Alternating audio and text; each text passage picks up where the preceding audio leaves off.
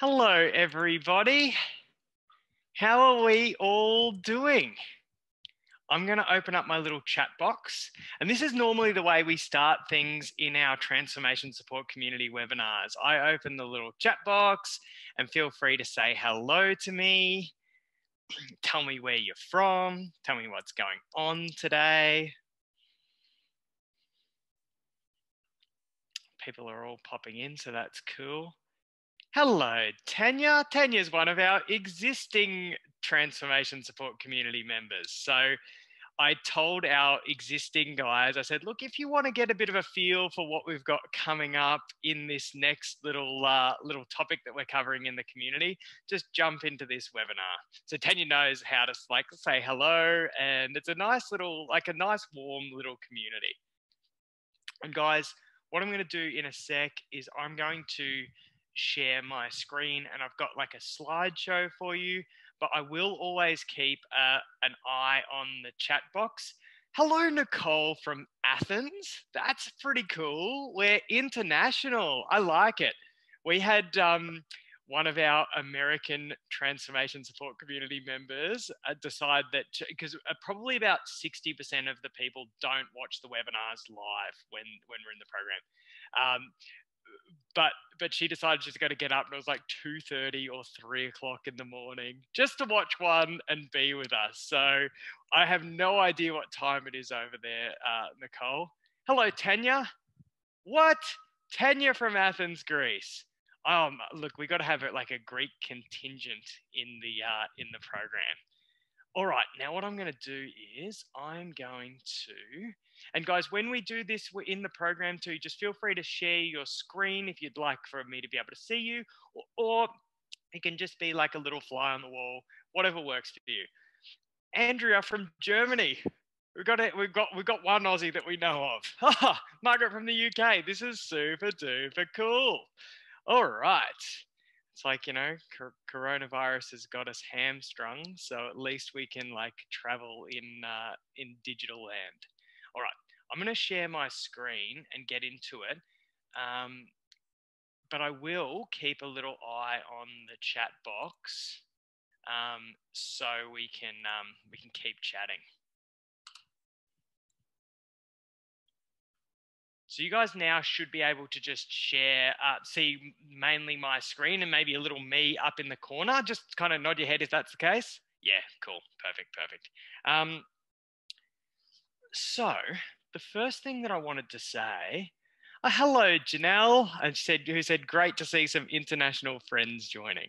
Um, the first thing I wanted to say is um, welcome to everyone, and thanks thanks for your interest and thanks for being here with me. I I'm super aware that if you want to, uh, you know, work on your eating or your physical activity or your weight or your body image, there are infinite things that you can do.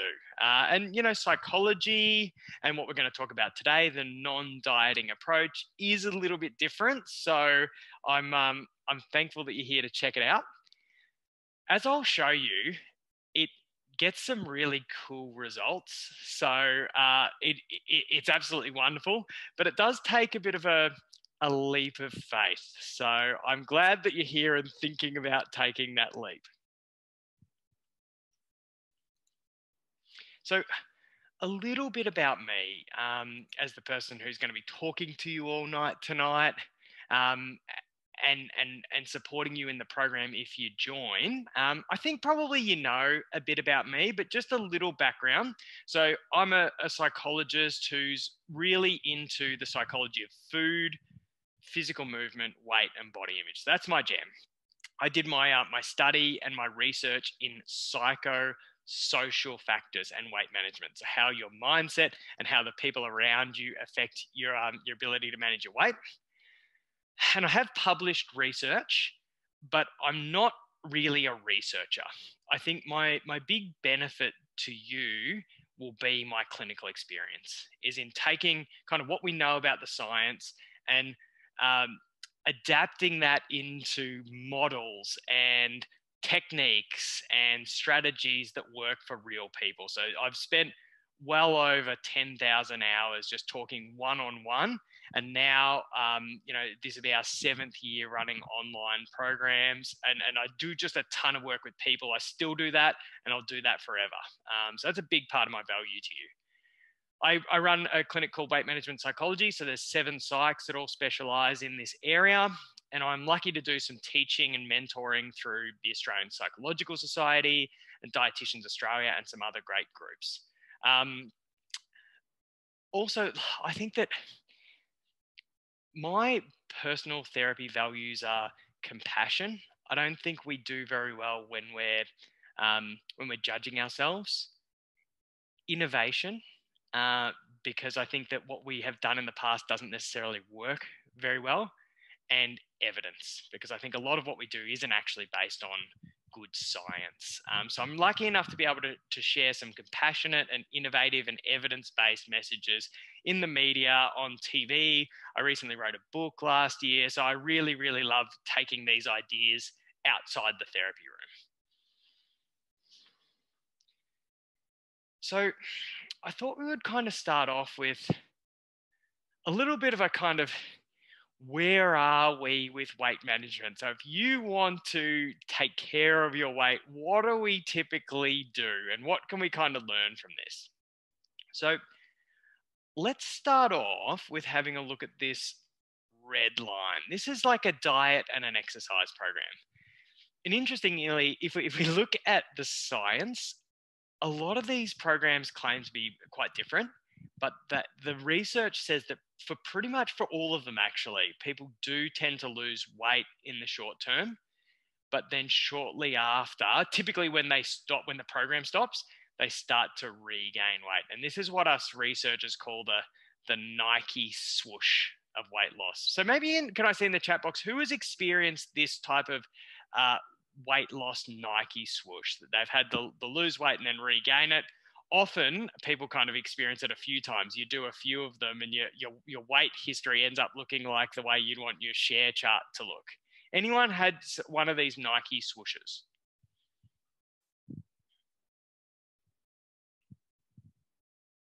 Couple of head nods. Okay, so obviously this is not what we want. So I about 15 years ago, started looking into psychology to help improve these outcomes. So if we kind of go down to this little lime green line, what we find is if you add general psychology, so something like cognitive behavior therapy or acceptance and commitment therapy, and Sammy said, "Yep, I've definitely experienced the uh, the Nike swoosh." Um, what tends to happen is that we can help people to lose a bit more weight, which is good. People like that and then sort of more slowly regain it. So it sort of changes the shape of the Nike swoosh. But if you're like me, that's not particularly motivating. you know, we don't want to lose a bit more weight and regain it a bit more slowly. So maybe about hmm, 12 or 13 years ago, I started to look into some other therapies like hypnotherapy and um, whoa, I don't know why that thing just appeared on my screen. That was weird. Um, who's drawing on my screen? Um, it's and guys, just want to check who can hear me because a couple of people seem to be having problems. Okay, most people can hear me. Okay, that's cool. Um, yeah, cool, cool. That's good. Um, so I started looking into hypnotherapy and this orange line emotional freedom techniques. And these hypnosis and emotional freedom techniques are the only two psychological therapies, in fact, the only two therapies apart from weight loss surgery that show continued weight loss after the treatment finishes. So I'm interested in those techniques. If we go down to this blue line at the bottom, we see bariatric surgery, and that is obviously a, a, you know one of the most evidence-based ways to lose a lot of weight and to keep it off. But of course, the outcomes of bariatric surgery are not perfect. If we were to draw this properly, we would show that some people continue to kind of lose weight, but then a lot of people, this this kind of fans out, actually still experience that Nike swoosh. Um, because you can see here, these are all imperfect solutions. And because of that, there has been this move towards health at every size or non dieting approaches that de emphasize weight or actually don't focus on weight at all. And this is this sort of blue line up here. And those, those approaches don't tend to show much weight loss, but they, they actually show an improvement in health, so your physical health and your psychological health without requiring weight loss. So that does tell us something interesting that your um, your health and your happiness and your success is not necessarily dependent on being a certain number on the scales or even necessarily losing weight. So, our approach that we take, and this is the approach I take with when it's one on one with clients or in my book or in the program, is a combination approach. Um, what we're trying to do here is marry imperfect solutions uh, to the challenges that you might be experiencing in a perfect way. So to perfectly match these imperfect solutions to you in a way that works for you as a unique person. So what are the type of things that we tend to as psychologists kind of help people out with?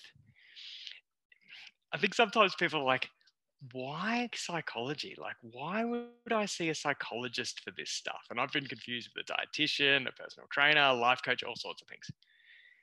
But for a second, I want you to have a think about these type of things that are up on the screen and and maybe even share with me in the chat box if you're feeling brave enough um, have you struggled with these type of things you know you you know you might have wanted to make a change but just not felt it you're just not motivated have you ever um, doubted your ability to change? So you might want something, but deep down, you don't know whether you're going to be able to achieve it, especially if you've tried a bunch of times before.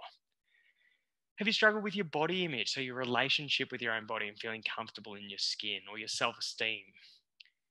Do you struggle with emotional eating or emotional drinking or other ways that you um, use to cope that don't actually help you cope too well in the long term? Maybe your eating has some sort of like compulsive or um, you, you, you feel out of control when you're when you're eating at times? Yeah and a couple of people said andrea janelle yeah very much so. Um, who struggled with um, social support or sabotage? Maybe i don't have enough people that i feel are in my corner or maybe some people are actually consciously or unconsciously throwing spanners in the works. Who struggles with um, self-care finding the time amongst all of your other priorities to actually take care of yourself and change your habits. Or maybe, yes, Andrew said I'm an emotional eater when I feel stressed. Yep. Um, maybe you struggle with self sabotage. You, you know, you you you want to change for certain reasons, but there might be reasons why you don't want to change, or reasons why you actually want to stay the same that we need to unpack before you can succeed maybe struggling with or you know grappling with that idea of getting bariatric surgery or even a revisional bariatric surgery and then a a big one that we um we always are really mindful of is that dieting mindset where you just get overly focused on the scales and it kind of sabotages you in a whole variety of ways. So here's a question that I really like to ask. I just call this the percentage question. And if you can give me this in the chat box, just your first thoughts. I won't even read your names out here. There's no kind of wrong answers. But what I want you to do is just think about. I'm just trying to get it so I can. can yep, perfect. Um, I want you to think about the goals that you have right now. So what what's important to you? And you might have a really clear idea or just a rough idea. But then I want you to ask yourself, how important is my mindset in helping me to achieve that goal? And I want you to do it as a percentage. So zero is like it's not important at all. I just I just got to do it, you know? And 100% is it is like the whole thing or you might be somewhere in between. So Tanya says 100%. So we're starting at 100. Oh, so yeah, um, 100, 100, 80, 100. Anyone below 80? Be honest, it's just what you think. Yeah, not 90. So it's, it's huge, right? Guys, this is another weird thing you'll see me do if I join if you join the transformation support community. This is the biggest glass I have, this big wine glass, and I fill it with sparkling water and sometimes Berocca. I don't know whether it's good or makes me boring that I drink a lot more water out of this glass than anything else. So Nicole said 70. That's that's you know that's the lowest we got. So between 70 and 100. Now I'd like to ask you the question how much in the past how much time and effort and energy and money have you spent on working on your mindset? Put that as a percentage.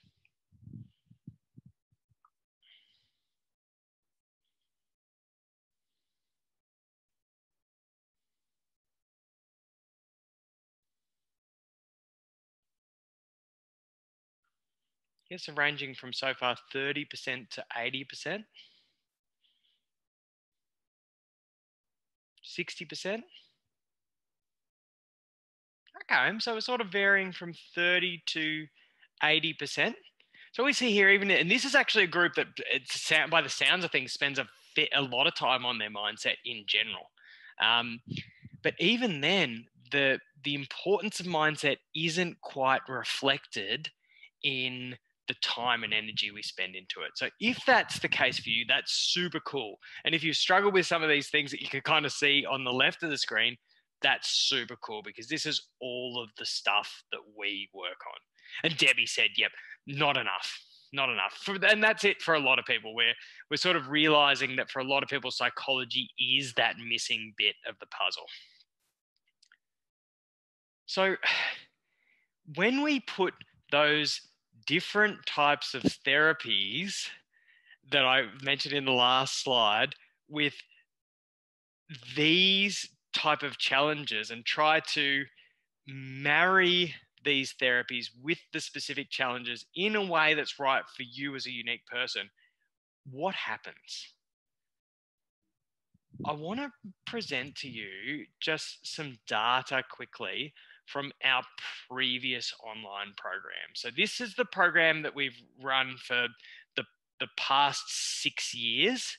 Um, we're not running this program anymore. It's turned into the new program, and I'll tell you why we did that in a minute. Um, but we don't have data on the new program because it only started this year, so it's too new. Um, but I just wanted to show you the type of results that you can expect um, if you do this type of work. And I actually wanted to show you in research because research, I think, as a research geek um, and as a scientist practitioner, research tells you that th- we know this can work for you. Not it's like Glenn's idea or a cool theory or someone else said, but we know this can work. So, if I quickly take you through the results of our old program, and this is all a bunch of measures of mindset. And this is just a whole bunch of people on average, so the average results. Let's look first at this dieting mentality. So the grey boxes are kind of before the program, and the orange ones are after the program. And this was a year, so these guys are with us for a year. And what we can see here is that before the program, they were actually higher than normal on that dieting mindset. But after the program, they were actually lower, which is super duper cool. Very interestingly for us, because uh, we're going to be talking about intuitive eating in a minute, is the change in intuitive eating. So, people before the 12 month transformation were just a bit lower than the average person on intuitive eating. But you can see that after the program, they were really nicely in that kind of middle of the, the normal range. So, if you have felt as though um, you're a bit of like you want to be a normal eater and your eating's a bit abnormal, then th- this type of work is really useful for you. This graph is about how hard it is for you to control your overeating. So let's just have a look at this overall um, column here. So before the TMT, people found it just a bit harder than the average person to control their overeating. And after the TMT, they found it a lot easier.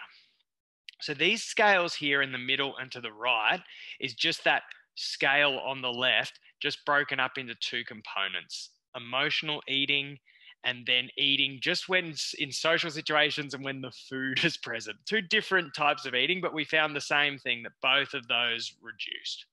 And guys, if you have any questions, you like I've gone into research land, you don't know what the hell I'm talking about, just ask in the chat box. Exercise confidence, which is something that's obviously going to be important because we're going to be talking about joyful movement in a minute. So before the TMT, people started fairly low on exercise confidence. So sort of like 35 out of 100. And they were in that just just snuck into that range of people who sort of start and stop exercise. But after the program, they were well into that range of people who exercise regularly, which is exactly what we want. we did measure a whole range of body image measures because your body image is one way that you can think about it is it's like your relationship with your body. And like any relationship is multifaceted. So we needed a whole bunch of measures but you can see here that every measure that we measured of body image improved. So that was really cool too. When it comes to psychological well-being we saw a bit of a reduction in the unpleasant moods, which is cool. And then over here on the right, um, and it's just a little increase in self esteem. And a little increase in self esteem might not seem too much, but self esteem is one of those things that when it gets a bit better, everything in your life tends to get a little bit better. So a little bit goes a long way. And it's also quite a hard thing to change. Self esteem doesn't tend to change unless you do something to change it. So a little result there is still really, really good. Even if you haven't asked this question yet in the chat box, I reckon some of you will be asking it in your mind. What happened to people's weight? What happened to their weight in this program? Now, this is where we've got to talk about something that's really, really important. The the TMT, our old program, it's the same with the TSC, our new program. This they're what we call a non-diet approach. Now, a non-diet approach is based on the research to show that when we focus on the scales too much, it tends to cause more problems than it cures, especially in the long term. So while everybody, pretty much everybody who joins our program and does work with us wants to lose weight, and you um, certainly we're not saying you won't lose weight on this approach. Uh, that isn't the focus. Um, I got a really really cool compliment yesterday from a couple of journalists from ABC's Catalyst are um, going to do uh, like a show on non-dieting episode and one of them had read my book and she said glenn i I found your book really refreshing because it was different to anything that I, would read. I, I, I wasn't feeling like I was reading some version of the same thing. And to me, that was the biggest compliment because if, if, because what we do currently isn't very evidence based, and what most people do currently doesn't work very well. Um, and one of the, the, the, the, the big pitfalls that we fall into is focusing too much on weight. So that is one of the big differences of our program is that it's a non-dieting program that doesn't result, uh, that, that the aim of it is not weight loss. So we have people who have lost over 50 kilos who we consider success stories. A lot of people with us lose a, like a small to a moderate amount of weight, absolute success stories. Um, we see people who maintain their weight success stories. And even um, a couple of years ago, we had the first person who I would consider a success story who actually gained weight. So this person had been restricting for a long period of time, and she got a lot healthier. Her life got a lot a lot better, and she ended up gaining a few kilos. So it's a, a really a program that that is definitely for people who are very interested in their weight, but it's not a weight loss program. Oh, cool. Sammy said, absolutely love your book. And I think the transformation support community is really just a supported version of the book. It's it's you know it's I, I tried to make the book as user friendly as possible, and then it dawned on me that I was a bit naive to think the book alone could change everyone's lives. So, thus the transformation support community. So, a good question is, if the old program works so well, why change it? Why do anything different? And I, I guess the answer is that after running the program for six years, every year we would improve it. We would definitely do a big reflection and improve it.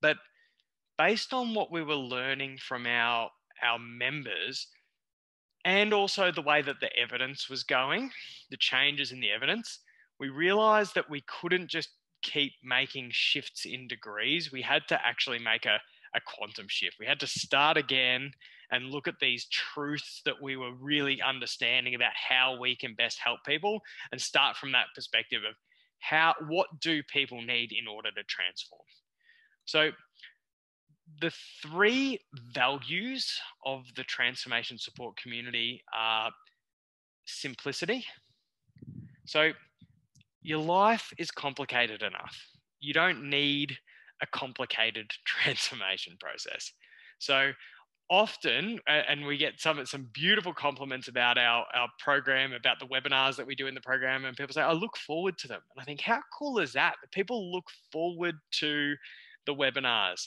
and I think part of the reason is because they're fun, but a big part of the reason is because they're designed not to be overwhelming. So a lot of people uh, in our program, even you know, in, when we're doing the work of the webinars, we'll kind of go, "Is that all I have to do? Is that all my homework?" And it's like, "Yeah, that's it." So it's designed to be simple. It, it's designed to be highly supported. If you're making changes to things that you might have been grappling with for years or probably even decades, you just need a lot of support. And most people, the reality is whether you're seeing a dietitian, personal trainer, psychologist, most of us have got about a week of motivation in us before we kind of just go downhill. And and so we need a lot of close contact support. So there's a lot of support in the transformation support community. There's also a, a lot of flexibility. Uh, so you know everybody is different. So we cover the same material, the same topics in a variety of ways, and we talk about in the TSC everything being an opportunity and not an obligation. So there's a lot of flexibility for people who want to delve really deeply into things, or people that just want to touch base and just check in. It's designed to work with wherever you are and work in a way that's right for you. So before we um, we start to get to the intuitive eating and joyful movement stuff, the details of what we actually do in the TSC it's based on live webinars that are designed just to help keep you on track and motivated. They happen every Wednesday at 7:30 p.m. Australian Eastern Standard Time. And, and maybe you could put up a link. We've got a little time zone converter that we use so you can just see what time that is in your um, in your area. But as I said, you definitely don't have to watch them live. You can ask questions beforehand. I send you a weekly email to, to make sure we're all on track and know where we are. And, and that invites you to ask any questions. So you can ask them in the webinars, you can ask them beforehand, and I'll answer them whether you're there or not. Because our 12 month transformation program was so successful, it's a very structured, very detailed program uh, we include access to that entire program. So you can delve into that whenever you want to. And when our webinars relate to material in the 12 month transformation, we direct you to it. So if you want to delve a bit further, you can delve into the TMT online. It also includes access. We basically chucked all of our best stuff in there. Um, it gives you access to my complete reprogramming series audio programs. So that's a, a, set of three programs that contain some pretty powerful hypnosis that people like. So that's a, a nice little addition to your um, transformation. We've got a very, very cool uh, member only Facebook community. It's a really special group because it's um, it's it's part of a member only community, and hopefully the TSC is going to go on forever. We spend a lot of time um, cultivating the group and showing the group members how to ask for help, showing the group members how to support each other. So it's not like one of those Facebook groups. It's kind of like the wild, wild west. And we have a, a guy in there um, at the moment. We've got a couple of transformation support coaches who they, they are actually in the Facebook group and they reply to everybody uh, within 24 hours. And as the group grows, we're actually trying to going to hopefully reduce. Well, we're not going to hopefully. We are going to reduce that time. So you've got a, a bit of a psychologist there at your fingertips. We are co-creating the program. So um, when I did this webinar uh, three months ago, asking for founding members, I said, "Hey guys, you know, do you have any thoughts?" And they said, "Can we have accountability buddies?" So you now have the option to have accountability buddies if you'd like them. We um, we wait a few weeks until we've got a bunch of people who want them, and then we play matchmaker, and that's going really really well. We are constantly improving the program. So um, one of the things that you'll see if you join up is we just did a series of welcome videos, just so once you come in, you can really get familiar with everything we're doing and just find your feet and, and make the most out of the program. So we don't have research for this program yet because it's only been going for a few months. But we asked some people if they would share their stories, and the, it's been just super touching. I think that we we had to ask people a few months ago to have faith in the program, and I'm just so thankful for the founding members for helping us create this. Um, and then we had a whole bunch of introductory members and and really they were you know to, with us while we were still putting the program together uh, and and we felt like we were onto something really special but the the the testimonials that we've gotten from people have really just reaffirmed and validated that. Here's another one from Taran who um, is using the TSC to support her bariatric journey so we have maybe, maybe, we haven't counted exactly, but I'd say 35, 40% of our people are somewhere along their bariatric journey. So we see a lot of those people.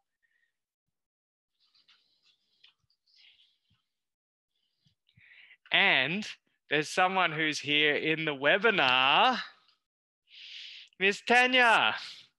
Um, so feel free to, this is good, Tanya, because this lets everyone know that you're actually a real person we asked a lot from our member stories people. We're like, we want to show your photo, we want your full name because we want people to know that you're not fake. Um, one thing that I like about Tanya's story is that it just highlights the small changes that we make. Um, it turns out that if you're feeling overwhelmed and as though you're always behind, that's not a good way to transform. So I like that that Tanya's story highlights the small changes. And and it's exactly the same as what we're going to be doing in this upcoming intuitive eating and joyful movement program. Just making very small changes from week to week that you kind of look back on later and go, whoa, look how far I've come. So, guys, I, I have given you a whole ton of background and I'm super thankful for your patience. I think that was important. I feel like it was maybe five minutes longer, but I just couldn't figure out what to cut out. Um, so now let's get on to the actual intuitive eating and the joyful movement. And please, I do, of course, this webinar is an invitation to join our upcoming 12 uh, week program but I do want it to be something that's practically useful. So uh, if you have any questions and maybe I can help you out on the fly or we'll have time for questions at the end, please ask them. I'm to have a sip of water. If you do the TSC program with us, we don't do these, um, hardly ever do we do slides. It's just all talk um, which is a bit more relaxing, but I can't guarantee I'll talk less.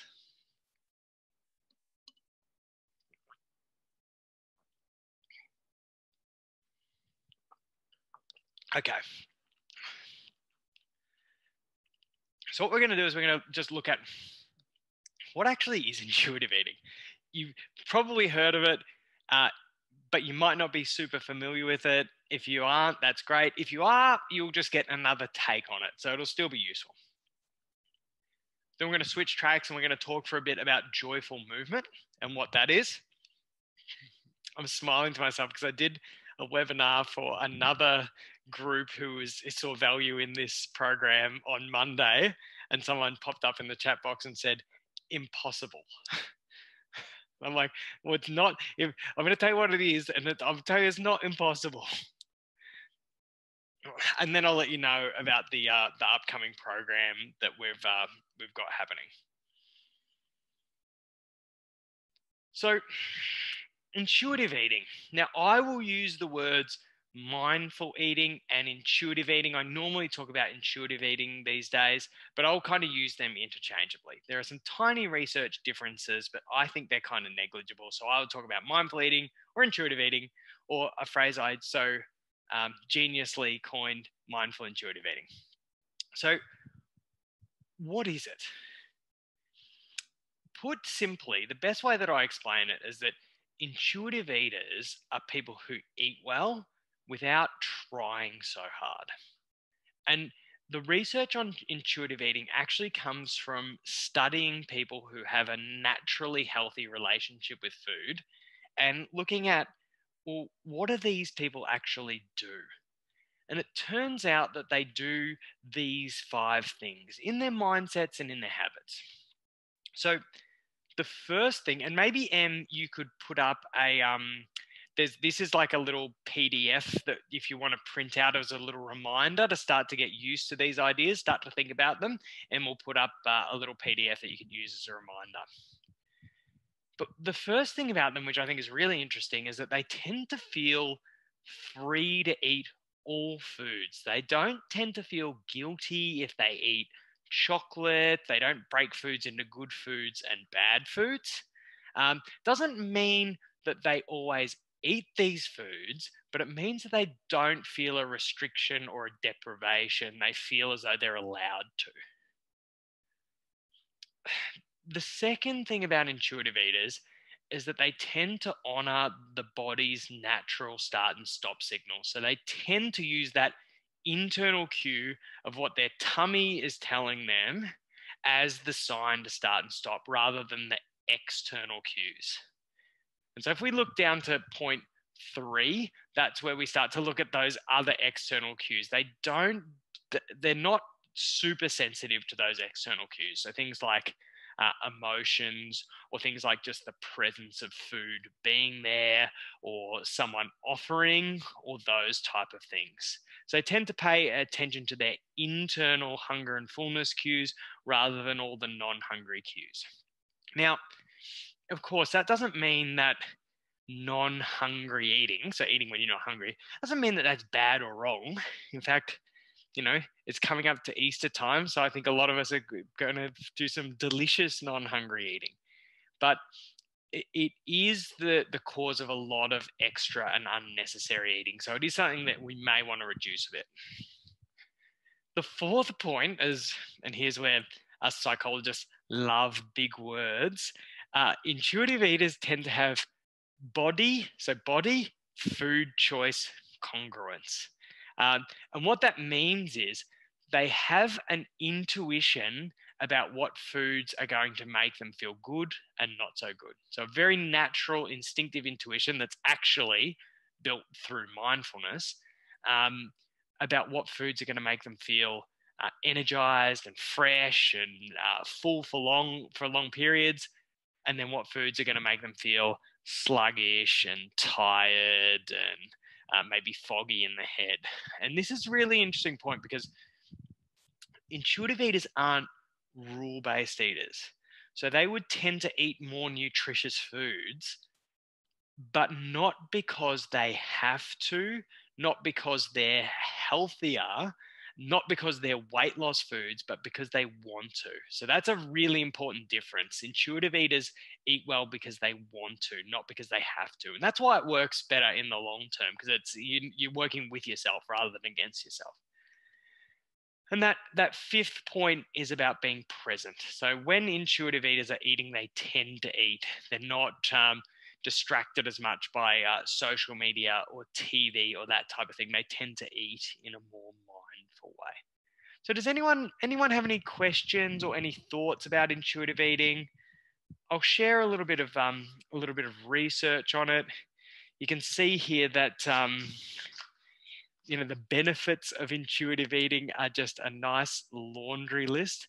There's kind of nothing that doesn't get better when we become more intuitive eaters. And I'll finish off on intuitive eating, just talking, uh, just sharing one of a whole bunch of client stories on it. And I'd love you to, as you listen to this story, even if you'd like to, to you know, share anything in the chat, just let me know what you think about the story. What is your response to this story? so this is one of our clients. I'm now listening to my body and eating when I'm hungry. Surprisingly to me, I'm enjoying finding out what makes me feel fuller for longer. It's nice not to be scared of feeling hungry when I know I can snack if I need it.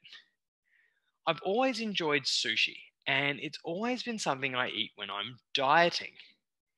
I ate some the other day and realized that I was hungry about an hour after eating.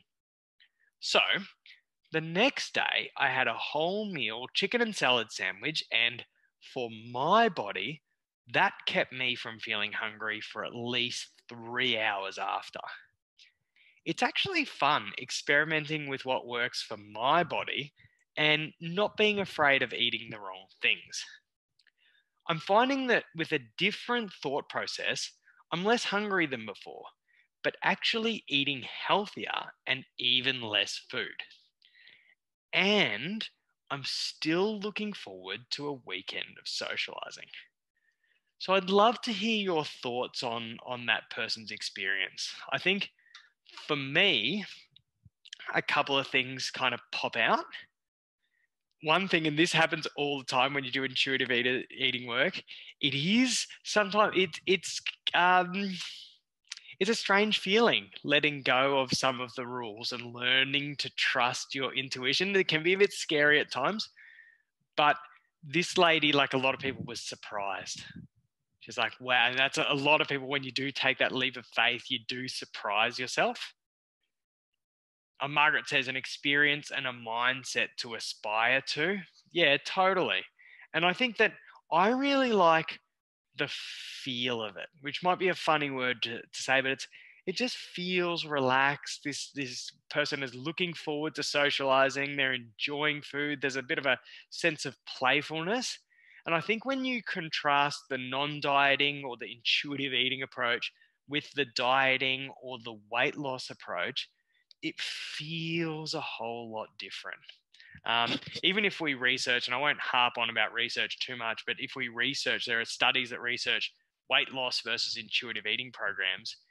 And the dropout in the weight loss programs is over twice the intuitive eating programs because it's just too hard for people to, to continue. All right, let's switch tracks and we'll start to talk for a second about joyful movement. Got little bits of paper and stuff everywhere. So there's no doubt about it, right? Physical activity is really good for you. We know this.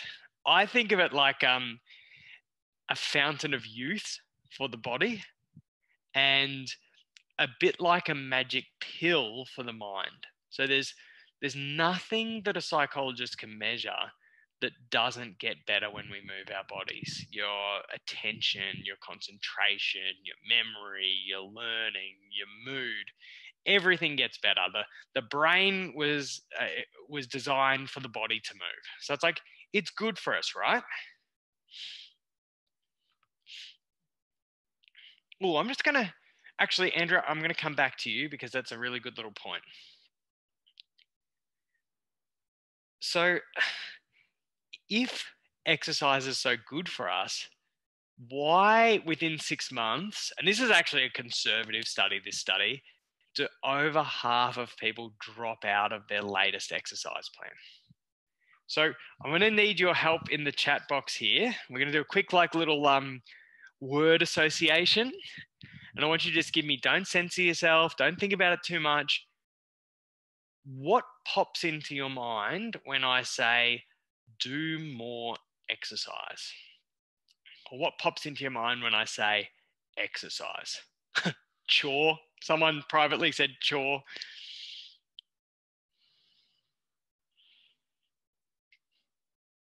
Janelle, too hard.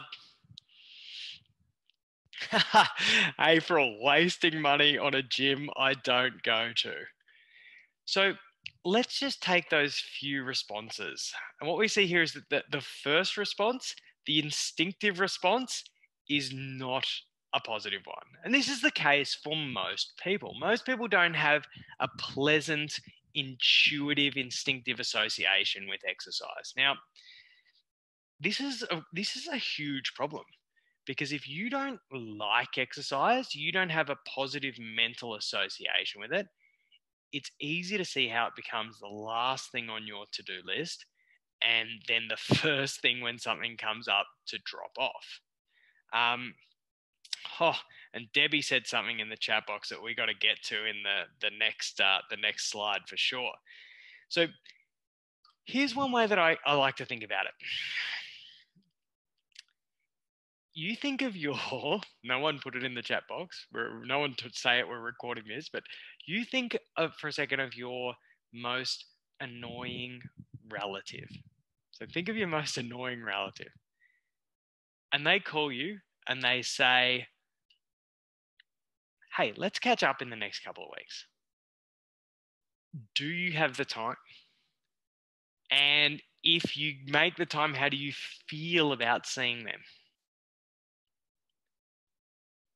Now, for a second, let's think about your best friend, your favorite person in the world.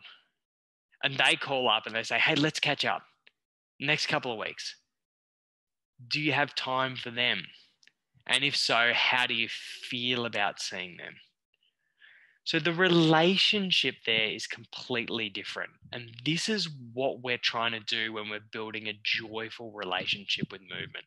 Not spend your willpower, you know, giving you the mental skills to like white knuckle yourself into exercise you hate forever because people are not good at doing things they hate forever. You can do it for a short term, but you can't do it for the long term. We use the precious finite resource of willpower that you have because uh, that's what it is to help you to change the relationship with exercise. And there have been some really, really lovely little comments in here from Debbie. I look forward to it because I only do things that I enjoy kayaking, bushwalking, cycling. Lisa, I love how it makes me feel. So we can see here that there are going to be people, if we were betting money, that are going to be more regular exercises than some of the other people.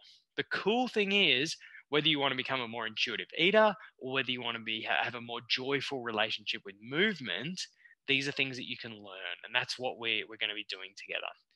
So, I think of um, intuitive eating like the one hand like the the left hand of uh, of healthy living and then i think of joyful movement as like the right hand they actually work in really nicely together as well as i'm sure you can can appreciate um, and M, maybe you could please put up this is another little reminder for people who like this idea. Um, you're already on it. Um, and so if you wanted to, to sort of uh, have a little PDF where you can just remind yourself, print it out and put it as a little reminder, please do. Um, so Debbie hit the first point on the head. These are, they're each five principles. Enjoyment. We're good at doing things we like doing. We don't you know, we're not good at doing things we don't like doing. The second term, efficacy. So this is um, where we again, you know, have to like bust out a little psychologist word. So efficacy is a term that means your specific confidence in your ability to do something. So, for example, um, and efficacy is very closely linked with motivation. So, for example, I um, have a very high psychology efficacy. I think I'm pretty good at doing psychology. That's why I enjoy it. That's why I do a lot of it. I have a super low cooking dinner for eight people efficacy. That's why if I was made to do that, I would try and look for any excuse and I've never done it before. So we actually want to build a relationship with movement where you're actually feeling it's not about what you can do, but it's about feeling as though you can do something most of the time. So we follow often like a 90 10 rule that 90% of the time you should be moving, when you're moving your body, you should be feeling like, yeah, I'm pretty good at this. And often that might mean doing things like starting slower um, or getting support so you can build skills in certain things. The third one is enthusiasm. So what that's about is about, you know, with exercise, it's one of those things where there's so many things we should do. We should do cardiovascular exercise because it's good for our fitness. It's good for weight loss. We should do resistance training because it's good for our strength. It keeps our bones strong. We should do stretching and yoga because it's good for our posture. There's, there's a lot of shoulds. But what enthusiasm is about is about linking the movement that you're doing with things that really matter to you. So if you want to be, you know, hiking, uh, you know, hiking the hills, it's probably going to be a lot of walking.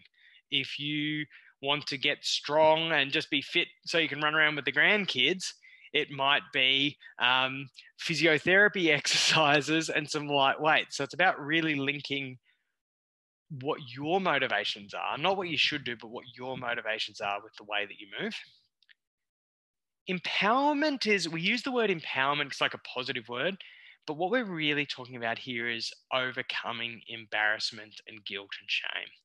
For uh, for a lot of people i'm sure a lot of people who are here can appreciate this that um, if, if you are living in a larger body if you're feeling uncomfortable about the skin that you're in if you're not as fit as you used to be or you're not as young as you used to be these mental barriers can be huge barriers to moving your body. So we want to overcome those.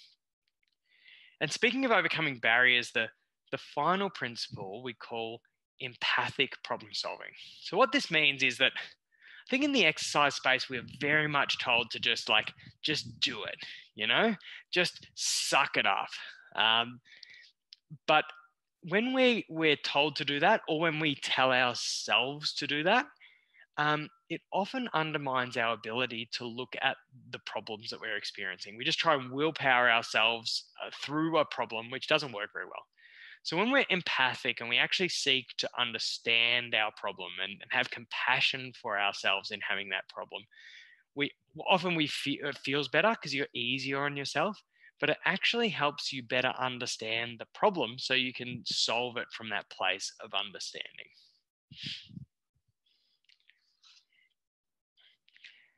And Margaret says, yes, more walking, yoga, qigong, and cycling would be good. Helps with my mindset, which helps with intuitive eating. Absolutely, both. One of the the good side effects that happen with intuitive eating and joyful movement is that you feel better.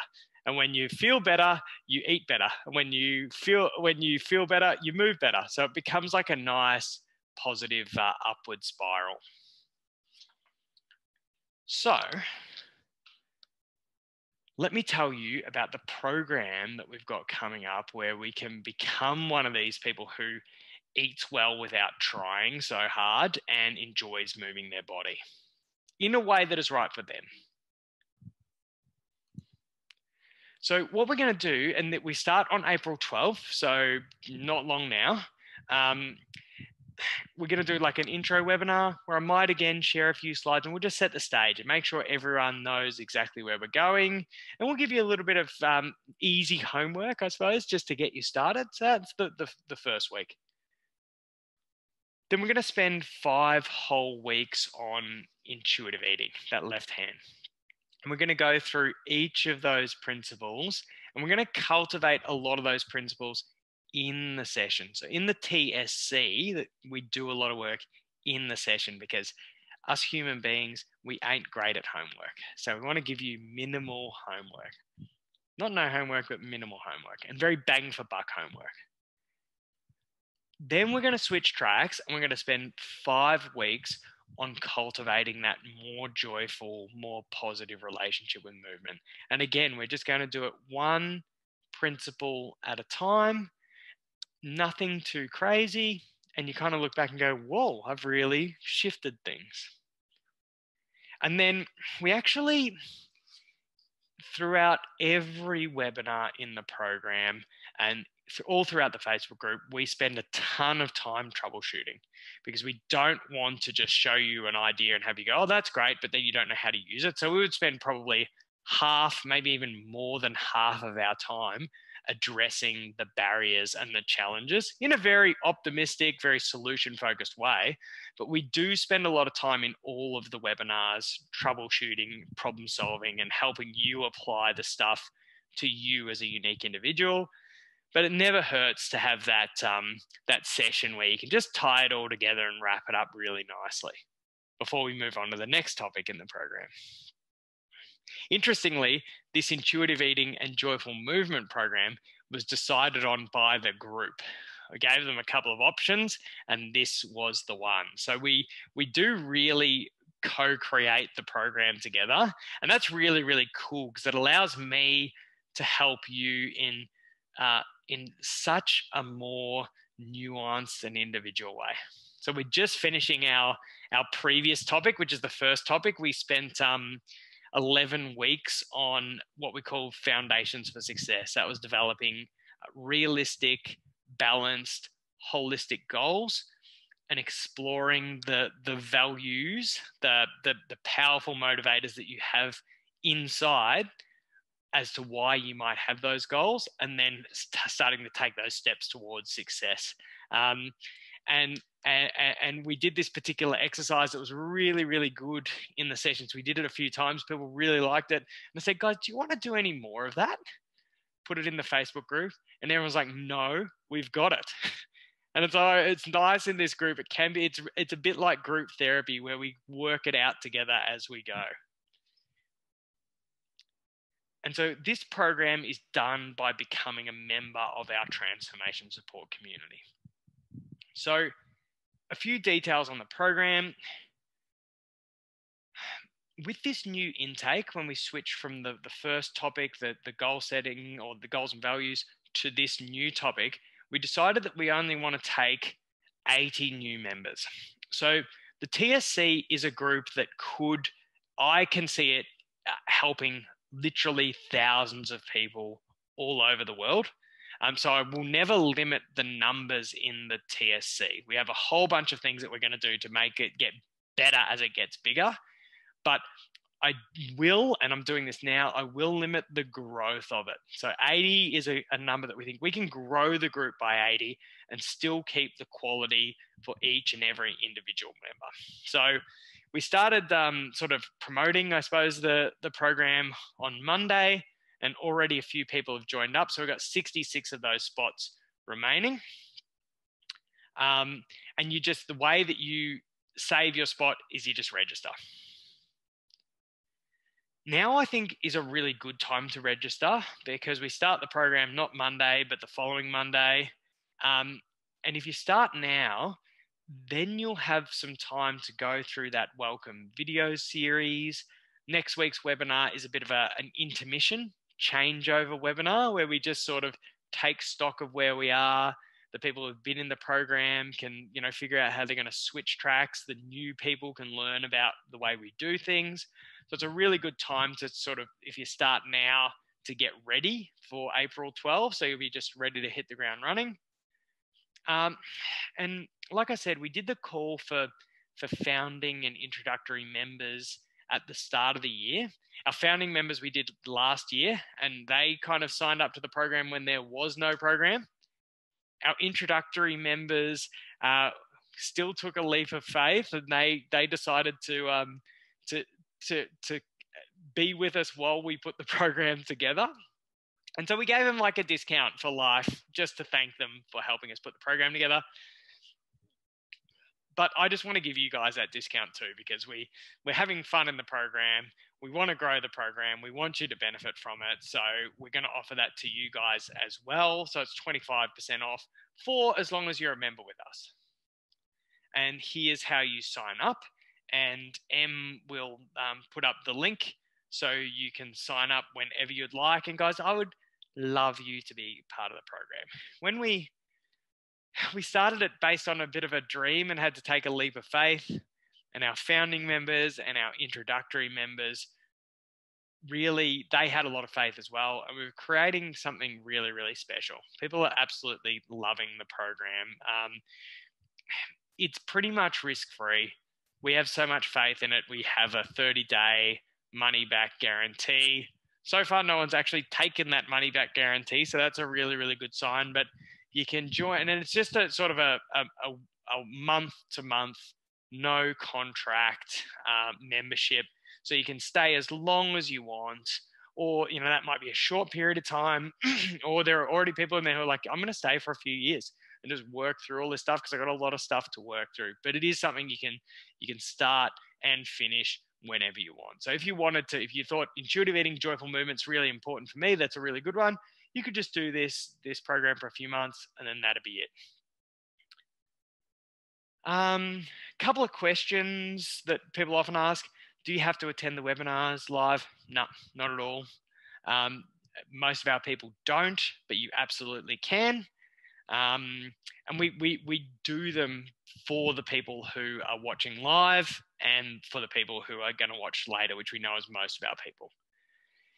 If you miss a webinar, will you fall behind? The short answer is no. We know that life happens, and we know that when you start feeling as though you're behind, uh, that's when you tend to stop and you don't get anything out of the program. So we want you to stay engaged, and we often talk about taking imperfect steps forward. And because of that, we we have a little section in the program where you can catch up on the most recent webinars, or we have these natural reconnection points for if you um, have a bit of off focus time, because we know that that's life. So, for example, um, for people who have already started the program and if they've lost a bit of focus, this time when we're switching topics from the goals and values to the intuitive eating and joyful movement, that's a natural reconnection point. If somebody has, you know, hopefully you'll attend most of the webinars, but if you've lost touch with some of the, the mindful eating stuff, then when we get to the joyful movement, that's going to be a natural reconnection point. So these things are, are built into the program.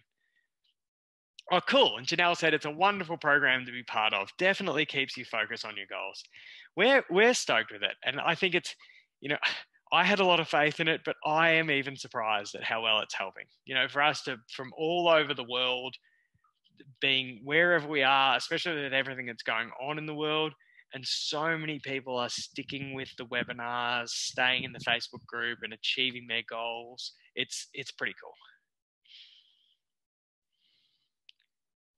Um, and I think I've let you know about all of that stuff. So let me answer any of your questions. And I just think there were a few there in the chat box. And I'm mindful of the time. It's just a bit past 8.30, but I'm going to stick around for another uh, 10 minutes or so to answer any questions you have. Um, if you um, if you have any other questions, you can email me. So if you're watching this after, we know that just like the webinars in the TSC, a bunch of people are going to watch tonight and a bunch of people are going to watch later on. Uh, so if you're watching this after, please still ask a question and you can just ask that. Just email me at my email. So it's glenn at weightmanagementpsychology.com.au and M's put that up. So let me see. Let me, I'm going to pull, you know what I'm actually going to do? I'm going to get out of this screen sharing thing because we oh, you know it might be good to give you a little bit of a better feel about how we do it in the actual program because in the program it's a bit like some of the people in the program call me Mr. Brady because it's like a bit like the Brady Bunch. We're just a bunch of squares, and this is how it, it happens. Um, and I typically, I do definitely write notes on all the things we're going to cover, but it's more of like a conversational thing. So let's let's get a little bit of that in there. Um, so let's see. So Margaret asks, as a tapper, may I ask how and when you incorporate EFT. So, EFT or the tapping technique, this is an excellent question because the EFT was something that was the only thing that wasn't going to be included in the TSC Uh, but then you guys just let me know how much you wanted it. Uh, so we are making plans to include it in the TSC. And it may be no guarantees because we decide this is a group, but it may even be the next topic that we cover after intuitive eating and joyful movement. The guys, I know they'll get a, a, choice between, I think it will be mindset for transformation, where we cover seven key mindsets for long term change, just seven week program. Or we might end up doing between six and 12 weeks on tapping. So, so it will be part of the program. And I can say that when we did the founding members webinar, I said, well, look, guys, I don't know. But then the group bullied me into it, um, which is great because I, now I'm really excited about it. It's a great part of it's, it's, it's a great technique and we, we can't not share it with you. So it will be part of the program, maybe in the next topic, or if not, it'll be the one after for sure. So, Karen, good question. How long do the webinars go for? They go for an hour. Typically, Karen, if I'm being really honest with you, I am between three and five minutes late routinely. So I say to the guys, like, I'm like, you guys are like my clients. My clients get me a little bit late because I've been with the previous client. So you guys get me a little bit late. Um, and then they typically go pretty much every time uh, to the whole hour sometimes we tell ourselves we're going to have an early mark and there's not much content, but then we get talking and they always go for an hour. So you bank on an hour. Um, oh, Angelo, good question. Do we need a code for the discount? Yep. So um, I think M has shared the link for the program in the chat box. Um, and if you're watching this after, you'll have the link uh, below, so you can just click on it. And in that link, there actually is a discount code. And that discount code, I'm pretty sure, is transform. But yeah, you definitely have to enter that because that will give you your discount for that month and the discount forever. So definitely don't miss that bit. Oh, cool. April just signed up. Um, I'm confused if this helps you access the Facebook community or the accountability buddies. So when you sign up, it helps you access everything. And what you'll get is you'll get like a little email um, that will it will just give you a few bits and pieces that you need, and it will direct you to that welcome series of videos. So all I would do, April, between now and when the mindful intuitive eating um, and the the joyful movement program starts is I just work my way through those videos, which would be really easy. And one of them will ask you to join the Facebook group. One of them will ask you to do a little questionnaire that we use as a baseline. To, it's the questionnaire actually includes everything that I showed you in all those research studies, the intuitive eating, the emotional eating. The, so we can, and what we'll do is we'll measure that at the start of your um, your 12 week program, and then we'll measure it at the end, and you so you'll be able to see your mindset changing. So I'll just ask you to do a few things and then it gives you access to the webinars. So as a member of the program, you'll get a weekly email where I just kind of talk you through here's where we're at, guys. Here's some things you might want to have a read of. Here's some optional stuff. Here's when the webinar is. And so, so it'll give you access to everything. Yeah, good question, Debbie. Debbie asked if I join now, do I have access to the foundation topics? I'd be interested in doing some of the values and goals work. The answer is absolutely 100%.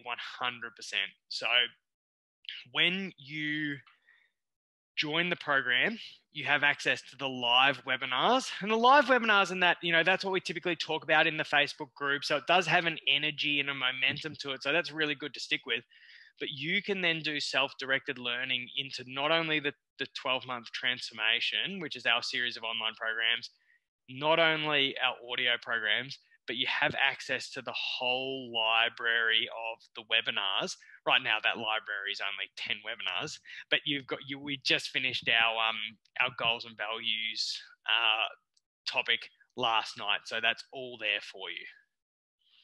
So 100% Tanya says, "Yep, we wanted the tapping." Yep, totally.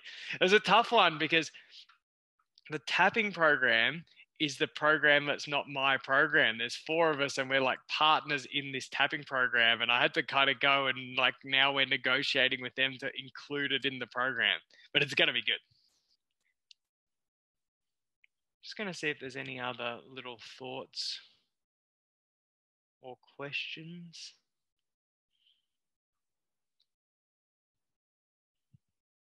Oh, here's a nice little a little um, note from Andrea back on the intuitive eating. I've never been a person who needed to eat in the morning, but everyone told me I should do so because it was unhealthy not to do so. Once I started listening to my inner voice and started to skip breakfast, I felt better. So again, you you know it's going to be so much easier for you. I bet Andrea, it's been so much easier for you since you're listening to your t- internal wisdom. And when you do this non-dieting intuitive eating approach, it works so much better because, like I said, you start to work with yourself rather than against yourself. And that's why that's a lot less willpower. Not no willpower, but a lot less willpower. And that's why it works better in the long term. Oh yeah, Andrea wants to know what time the webinar again takes place. So the webinar takes place live at 7:30 p.m. Wednesdays, Australian Eastern Standard Time. And that's actually why we did this little webinar at the same time. It's obviously a different day, it's a day later, but we thought that might give you, if you do want to attend live, or if you want to attend live sometimes, that might give you a bit of a feel for how this time kind of works for you. Uh, and M will put up, um, if you don't know where that is, M will put up again our little time zone converter. And I think April, seeing as it is now April, it's um, it is the same time in Victoria as it is in Queensland. So it wasn't a couple of yesterday, I think, but yeah. So guys, I think if there's no more questions, that's heaps and heaps for us. Guys, thank you so much for your time and your interest and your energy. And as I said, I would love to support you. And either way, I hope that you've got something valuable uh, out of today. Um, and I hope you have a, a good and a safe Easter. All right, guys, you take good care. Thank you so much.